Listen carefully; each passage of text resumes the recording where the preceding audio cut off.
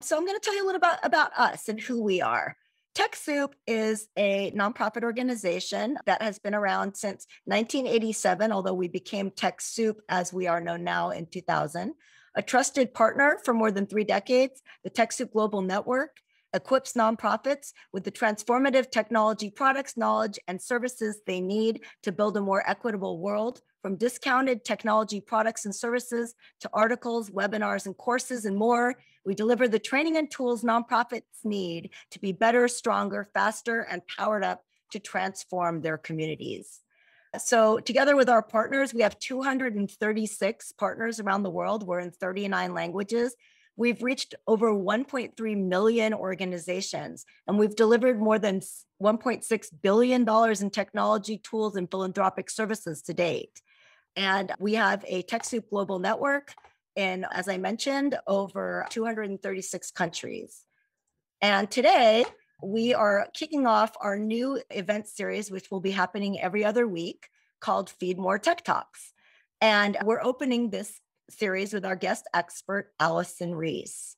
The Feed More Tech Talk series um, will be, as I mentioned, every other week, and it's TechSoup's open town hall forum for people who feed people. And this week's featured guest is Alison Reese, Executive Director for the Souper Bowl of Caring and the Tackle Hunger Movement, which is a nationwide food drive campaign that brings together thousands of groups annually who collectively donate millions to local hunger relief charities each year. The Tackle Hunger Map was built to support their mission to unite all communities to tackle hunger and show where and what food charities need in real time. We will learn more about the map and how it's being used while I speak with Alison. And today we will also want to hear how we can help you, how TechSoup can help support the important work done by organizations like yours who feed people. We'll introduce you to Quad after I speak with Alison. And our member services manager, Erin, will be taking the mic after me and we'll be telling you all about Quad. And Quad is our new peer to peer community and content hub where you can connect with others just like you who are working to address food security issues.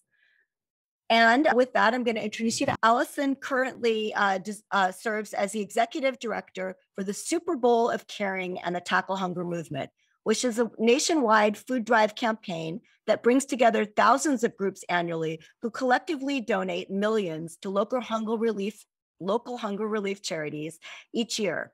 An educator by training and in the classroom and school leadership for over 23 years, Alison knows firsthand that we must make sure our families get the food they need so that they can meet their potential. And she can be reached at alison at souperbowl.org. And that's A L I S O N at S O U P E R B O W L dot org. So with that, Alison, it's great to meet you. And where are you? Where are you sitting right now? I am sitting in the Dallas Fort Worth area in Texas. Nice. So I'm going to start asking you questions about the Tackle Hunger movement and map. So why don't we start with what is the Tackle Hunger map and how does it work? I appreciate the opportunity uh, to talk to some of the food charities that you all work with. And of course, we have had all sorts of great experiences with TechSoup, and they have helped us build our Tackle Hunger map.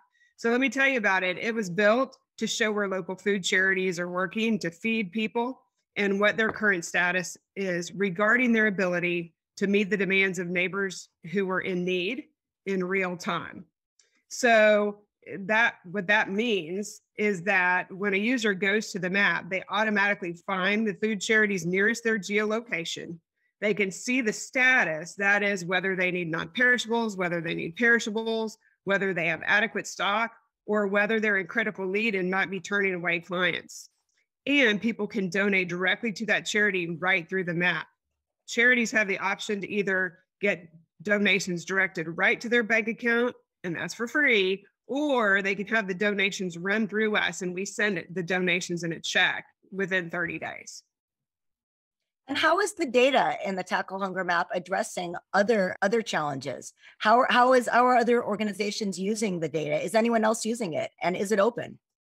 So interestingly enough, it it really fits very well within our mission to unite all communities to tackle hunger and to for our participants in Souper Bowl of Caring events and collections to be able to have a an online resource in order for donations to flow to those charities. But in addition, the reason we started this was actually because of the fact that we had a question that came to us. So at that time, the question was, hey, can you tell us in real time what's going on in, with food charities? And this was during the pandemic. So because of that, we created this map and we're adding charities all the time. When we, and anyone can add a food charity to the map. And when they do, we have a, a charity a director who verifies that charity, make sure that it's really a charity, and, and then approves it to the map. So when food charities provide their status of their current level of need, that allows a user, whether it's the Department of Defense who originally had the question for us, or a local person in our community, or a church person, or just a, a regular person interested, we can see, we can do several things with that data. First, we can direct people who are hungry to places that can actually serve them. Because we know if a charity is on red, then we would caution a, a client may end up being turned away. And that's happening more often than not sometimes. And our charities don't want that. But that is indeed sometimes what ends up happening. So we can direct people to other charities within that area. We can also encourage community members to pay attention to the map and become support networks to the food charities, especially when they're on red status, when there's a critical need. And another thing that we're doing with this data is in the event of emergencies, this map can actually be used by emergency officials. And it has been used and continues to be used by Northern Command to find uh, resources to help, but also to find partner pantries who might be able to help distribute emergency resources. And one last thing that I can think of is that our food charity data now is interestingly being layered with other data so that we can really tell the story that helps federal resources or state resources actually do better. So, historical data of where and what food charities need at different times of the year can really lead to better resources across the board for all food charities.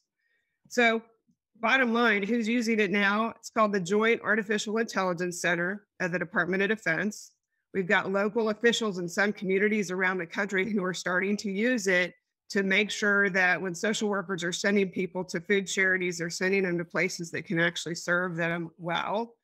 And then we've also got a, a couple colleges now that are working on some research there where they're actually building an algorithm to determine where to stage food in the event of an emergency, whether it's a pandemic emergency or a natural disaster. And of course, the data that we've built or that we're building is critical to that. Very interesting. And what are some of the biggest challenges for the small food banks uh, that participate in the Tackle Hunger Map? Yeah, it's particularly hard. What we hear, and just like the forum that you're building, it's particularly hard for small charities to have time to get awareness to the work that they're doing. So, mm-hmm. literally, I can be sitting a mile away from a food charity and have no idea that's happening and a lot of times that's true with our faith-based organizations they they don't know that there's a charity right down the street and if they did know that then potentially they could be more supportive and because our charities just have don't have time to go to to these potential partners and seek help only the volunteers and faith-based orgs that walk in the doors end up being able to help so in addition look, our food charities, you guys know, you're constantly battling to find the resources you need to do your work. So we envision the map to be a quick and easy place that charities can indicate their need. Literally, all it is, you get an occasional email where you click a button in that email. You don't even have to log in to the back end of that map. It automatically changes your color and food charities, obviously, you feel very isolated, which is some of the data that that you all have collected from talking to some of these charities. So our map provides this network. Look, if a charity is doing okay, and I notice, and, and I'm that charity, and I see a, a food charity 10 miles away from me on red, I could call and see if I could help because we're all in this together, but mm-hmm. we have mm-hmm. no way to see where the pain points are in the system at any given moment. And that's what the Tackle Hunger Map can really do and solve for and help with. Yeah, I we in in our quad community, what we're going to tell you about.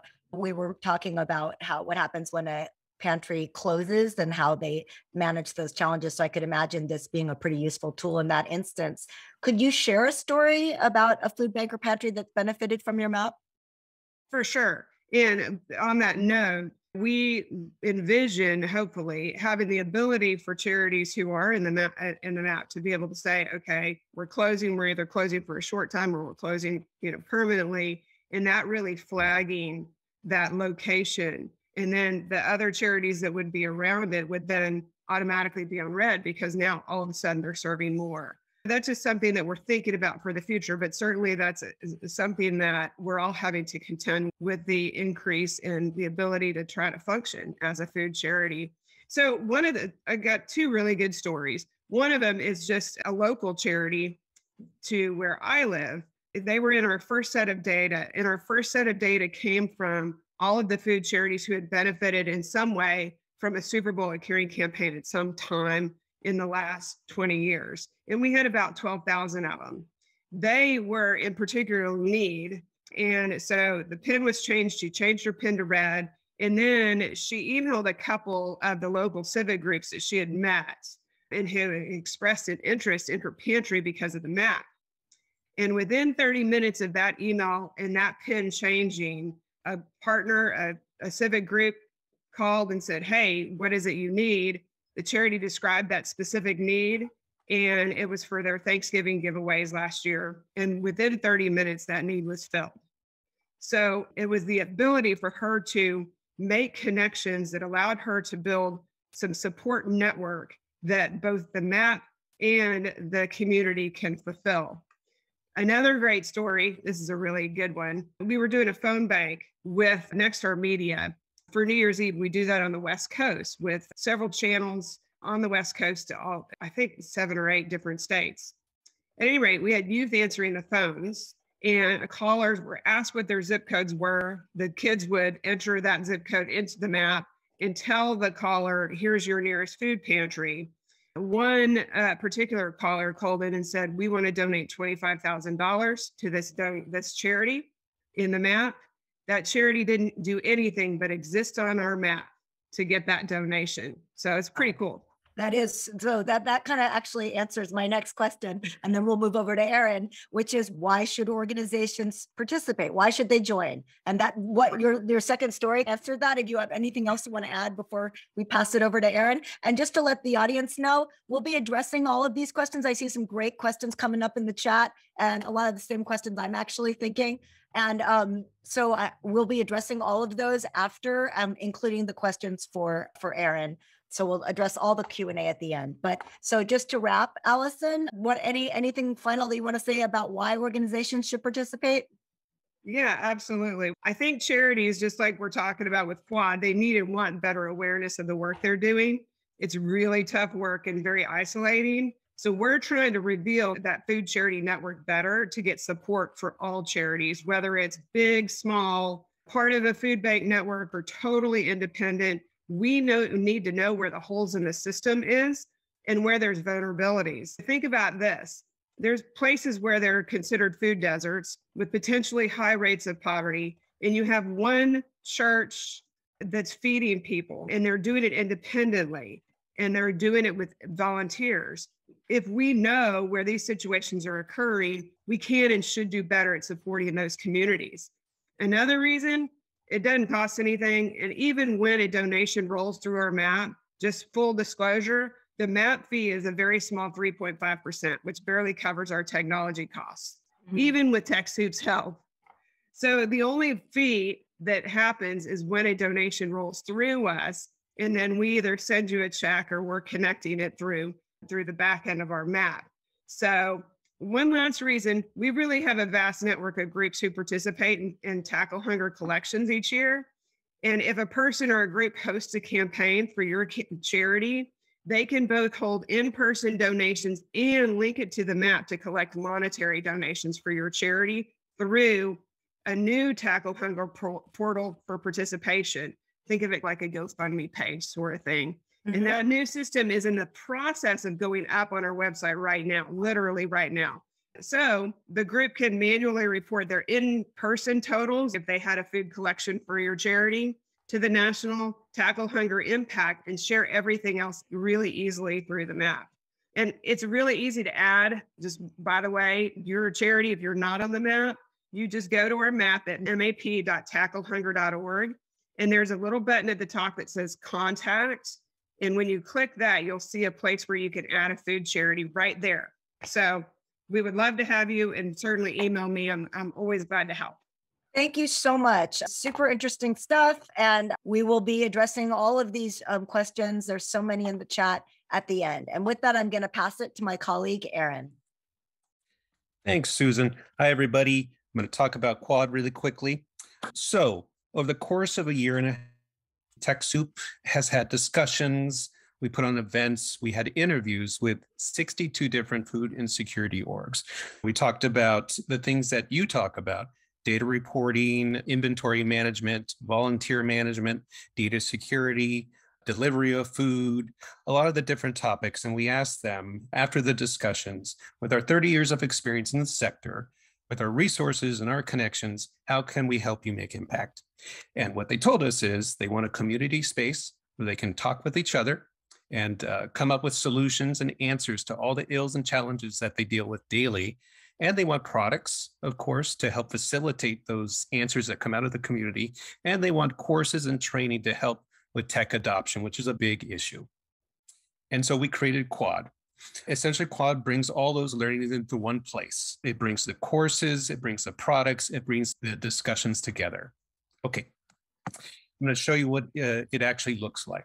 So a Quad membership is $200 for a year. That $200 was put together by the average annual spend of our TechSoup members. But value is so much more, and I'll show you how and what that means too. So initially, I mentioned a, a community space. We have a new dedicated community space which includes a curated knowledge base.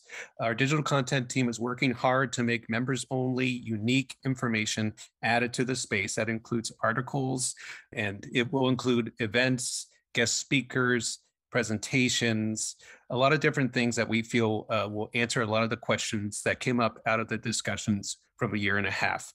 Uh, aside from having that community space with the quad membership, you also get products and services and courses. We will remove the admin fees for all of that. That means mostly you will get all the courses you need. I will say this you can get a limit of 10 for courses and product quantities as well. But overall, you will still get admin fees removed. And I can explain a little more if we have some Q&A about that. And I will be here with individualized support. When you do a quad membership, I'll first start out with a consultation with you so I can get a profile of what your needs are for the whole year when it comes to technology and other challenges. That way, I can offer suggestions for different products.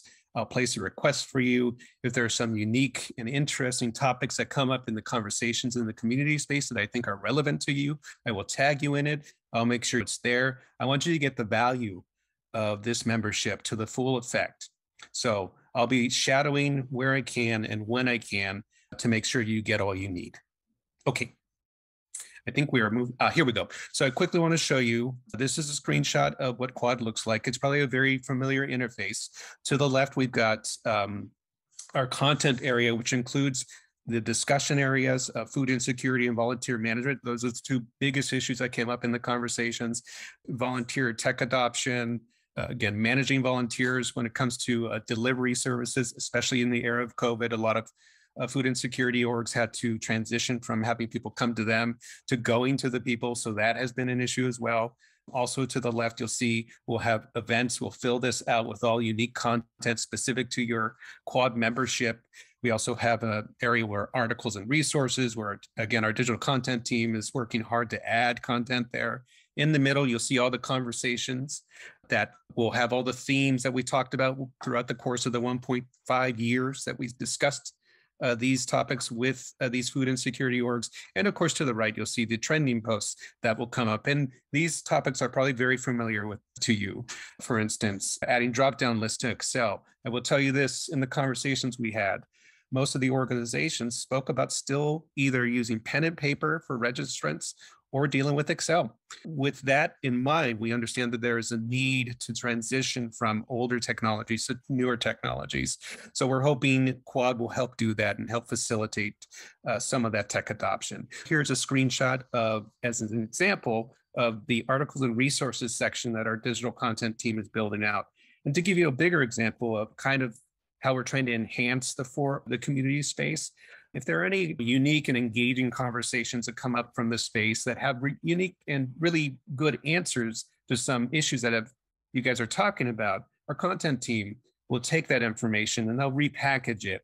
They'll either do an interview, maybe a video video interview with people talking about these issues, or they might just pound the pavement and do some big research and create a, a more fulfilling article about the conversation conversations that came up. For instance, what kinds of organizations operate in food insecurity from Amy, Excel templates for food security organizations, document management. These are all relevant conversations and uh, topics that we've created content for. So we're hoping that this space is going to be something more than just a forum. And we think that since it's brand new too, we feel that you all have the ability to create your own idea of what you want out of a forum.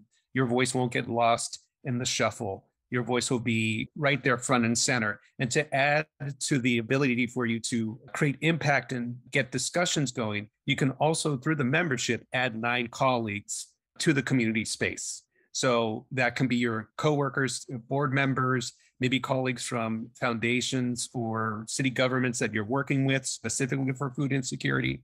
And then here is a list, the current example list of some of our current quad members. You'll see it runs the spectrum in terms of food insecurity. We have food banks, we've got uh, community service organizations, we have churches that help deliver impact through providing food. We have platforms like Fresh Food Connect. We provide a platform that allows distribution of excess groceries and foodstuffs. So yeah, we have a big, we have a, a big, or at least getting bigger group within the community space, and we hope you all can join as well. And again, I think a big deal out of this is to create your own space, have your colleagues in there, start conversations, introduce yourself to each other, and uh, come up with those answers that you mentioned you want to get out of community space after a year and a half of discussions. All right, I am done. Thank you very much. Thank you. Only two years of pandemic, and still I forget to unmute myself. anyway, I'd love to open it up. We have a lot of questions that rolled in. I'll just start right now, and we've got some time. So, Alison, I'm going to start with the questions for Alison. How can charities use the map? How is it useful on a day to day basis? Okay. As I mentioned before, one of the things is just to have a network in your area. And it's in there aren't a lot. If you're a part of the food bank network, then yeah, you might have a, a, core group of people that you could go to. But certainly the ability to see where other food charities are and what potentially their needs are, it certainly allows for a sense of networking in your local area. Certainly Quad is offering a more, more broad spectrum. But at the same time, the other nice thing about the map is that it allows you to to be seen and for people to be able to host these kind of collections through Souper Bowl Caring that we encourage people to do and thousands do each year. Depending on the part of country you are in, our brand gets a lot of awareness. We're doing a lot more now with our NFL alumni, as you can see back here, who are also in the very um, beginnings of some pretty significant work that we're doing to bring awareness to child hunger and the needs around that um, in our communities. So stay tuned. Thanks. So I wanted to know if you could give me an example of how the data being used is helping us a positive story about the data. I could go back to some of the work that's being done right now where they're layering this data along with um, some other key indication indicators that help us identify better the vulnerabilities. One of the coolest things that it's been used for recently was it's layered in a dashboard where when natural disasters, particularly hurricanes, are taking place, and you've got Northern Command that ends up going in to help support with the Red Cross and with other national organizations. They're using the data um, about where these food charities are in order to to see here's the evacuation routes here's where these charities are, here's who potentially could help us. And then in addition to that, it's just about getting resources quicker to the people in need. And, and based on the, the two times that it has been used and in the ways in which they're hoping to use it long term, they have taken the response time in at least one case down from three weeks to responding to certain communities that were in need of, of food to three days. So that's a good example of some of the things. Literally, like I said, right now we're working with a couple universities who are taking that data and they're using it to help figure out an algorithm that could be used really anywhere to to know where to stage food, where it's most appropriate, where it's going to be best for the entire community. And you're using lots of factors to determine that. But there's never been a project really where we have all food charities in one database that's maintained. There's a lot of different databases out there. Google has one, but a lot of them are including feeding sites, like summer feeding sites, which is great information, but that's not some place where a person like myself could go and get food support. In and addition, a lot of them summer months, it's not open. So there's right. that too. Yeah. And a lot of the times they're not, the databases aren't maintained. And no, ours is not perfect, but we are working on that every day. And we've got people who that's their job. They, we have volunteers, Vistas, who are working on that. And then we share that data. Our goal, what we would ideally like to see is just one database that everybody can share, everybody who needs it. So, for instance, we share our data with Hunger Free America, and they have a hotline people can call when a food charity updates their information in our portal that should update it for everyone who needs it instead of these charities having to go to 10 different places to update their information. So ideally, that's what we'd like to see. Now, whether or not that will really happen, I don't know, but but our goal is to find all the food charities, and we've got volunteers within our network, especially in our faith-based community and some civic groups that we work with, a lot of youth who are helping us to find all food charities and try to get them on the map. So in all 50 states, we have some volunteers working on that. That's awesome. Thank you so much. And I wanted to read a question from Brittany Rhodes, who's actually already a quad member. Brittany asks, would the Tackle Hunger Map be a good resource for unofficial organizations? Do they have to be 501c3s or can they be right. not nonprofits?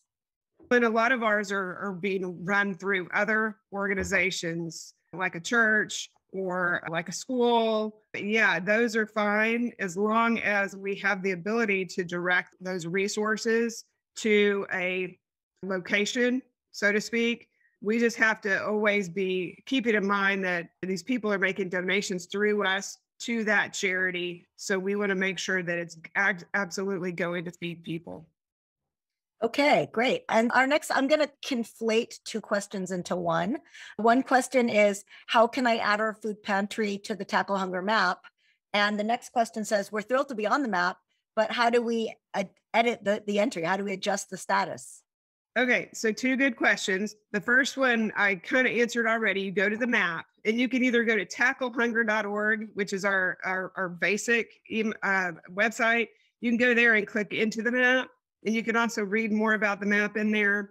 But you can also just go to map.tacklehunger.org. You click on the contact button. There's a little place there where you can enter your details. Anyone can e- enter details. So if you know of other food charities that aren't in there and they need to be, we want them to be, then you can add them too. And like I said, we've got a volunteer whose job is just to vet those those charities and then approve them to get on the map itself. So that's how that happens. If you're already in the map, what and you haven't received an email that says, "Hey, welcome to the map. Click here to learn more." Then you can email us at charities at souperbowl.org or we also have another one. Our sister email is soup, S O U P, at souperbowl.org. You can email either one of them and say, Hey, I'm on the map, but I don't know the email address that's attached to it because the only way we can get in contact with our charities is if we have a good email address. And that's actually one of the jobs that we have a volunteer working on right now to make sure we have good email addresses for the charities who haven't engaged. So that's likely the issue. And once we have that correct email address that you want to use, it's easy to get in and then you can change the information you can also just email us and we can help you with that or call us. We've got a 1 800 number too that I can put in the chat. Great. So I the, the next question is pretty interesting from Joe Bobrin. I've seen a number of similar but different maps in the works, all with slightly different purposes and audiences. Have you collaborated or spoken with other mapping projects?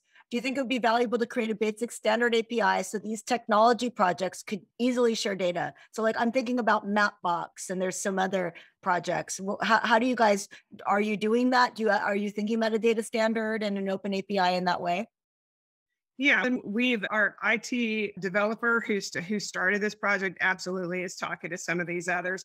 Ours has a very specific goal, and our goal really, from Souper Bowl Caring standpoint, it's really to be an extension of our initial mission, which is to unite all communities to tackle hunger and have it, especially with the pandemic, have a virtual way to do that.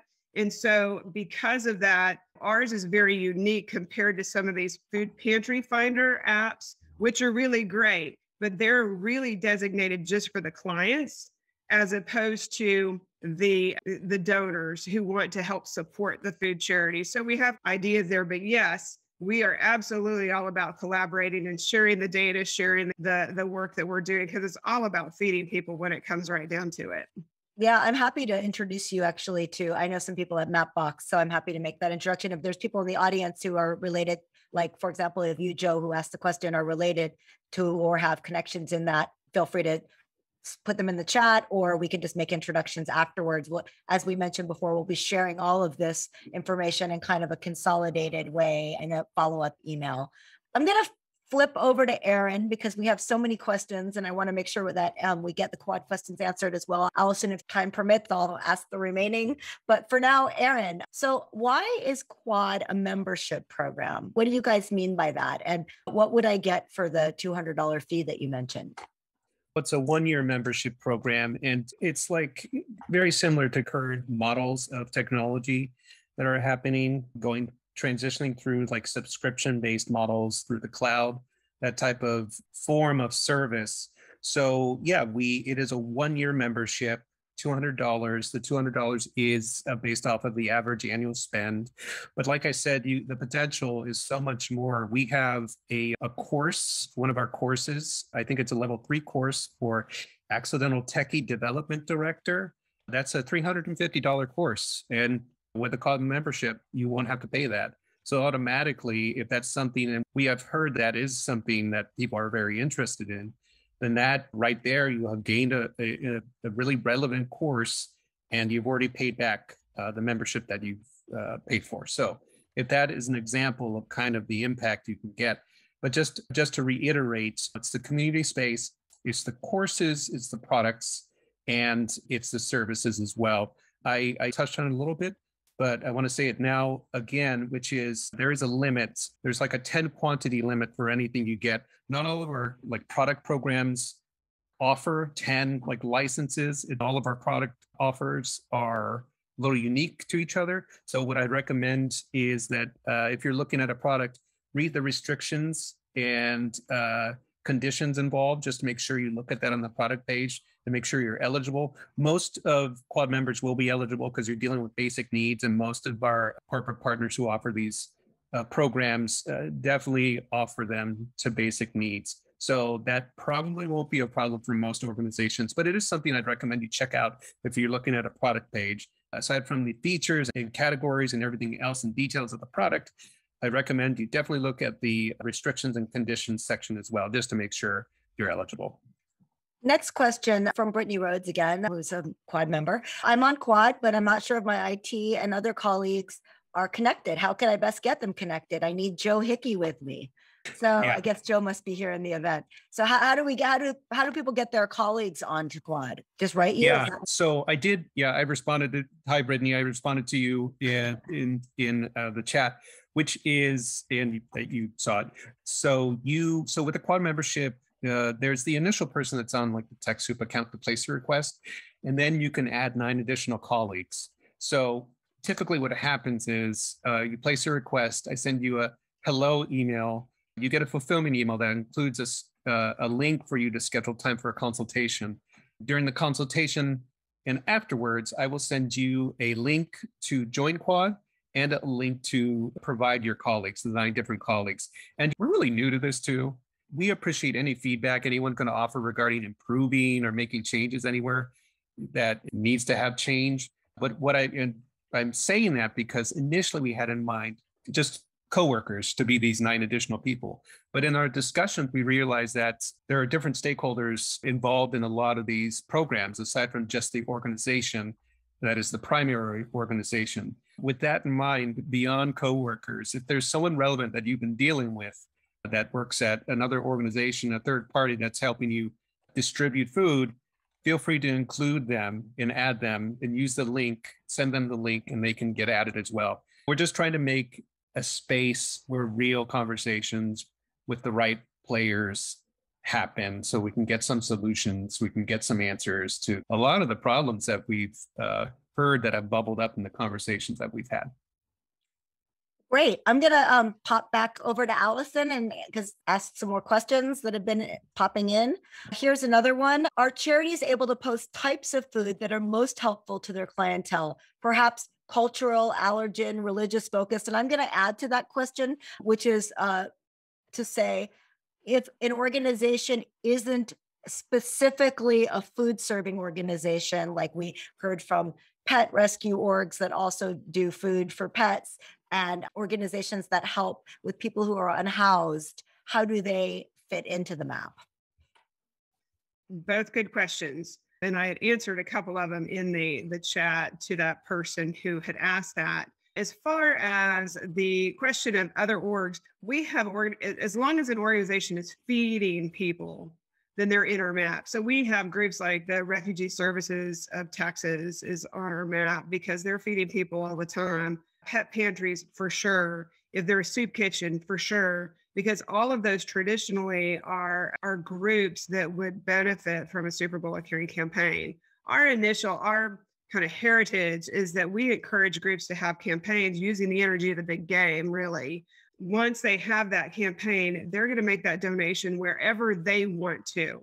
So they get to determine in their community where they're they want to provide that resource. And I was just telling the, the pet pantry, we've got several of them in our map that do really well because a lot of our schools really love to to support those pet pantries. Interestingly, the other question that you asked with regard to a- adding what kind of donations they're looking for, mm-hmm. we actually do ask some of those questions and it's in the database that we have. So when you log into the portal, then that's where a food charity can indicate, change up the information, if their addresses are changed or their times of service, that sort of thing. And most of right now, because our primary mission has been to provide donations and to, to support that charity. So we don't want to overwhelm the user. We haven't really put that into the view on our map. But like I said, we share that information with a lot of our pantry finders and yeah, they do have a lot of that information. We are working on that. And we we see what the feedback from our food pantries, just like with Quad, you want that information so that um, you can do better. And we're actually about to deploy a second version, which will add some of that. Here's what we need. We're we're needing food donations and this kind of food donations. So stay tuned. It's coming. With that, we have to wrap. Unfortunately, we're out of time, but it was such a pleasure meeting all of you. And thanks so much for all of your insights in the chat. And I loved finding out where people were from and what they did. And yay, I'm glad. Oh, Susan, you reached out yesterday from Humanitas. Ah, thank you, Daniel. I, I did see that email and I am delayed in responding. So apologies. I'm terrible with emails sometimes, but I will get back to you. And um, thanks everyone for coming. Uh, we'll have these every other week. If you are interested, you can email community at TechSoup or Susan at TechSoup, and we will be happy to tell you more. And thanks again, and have a wonderful weekend.